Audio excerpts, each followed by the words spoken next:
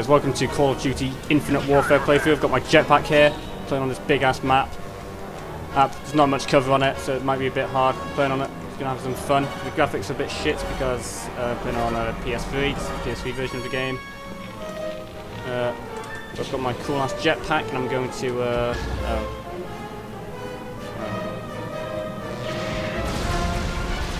This might be Star Wars.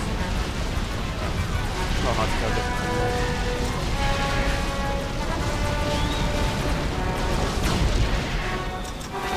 sci-fi shit in there.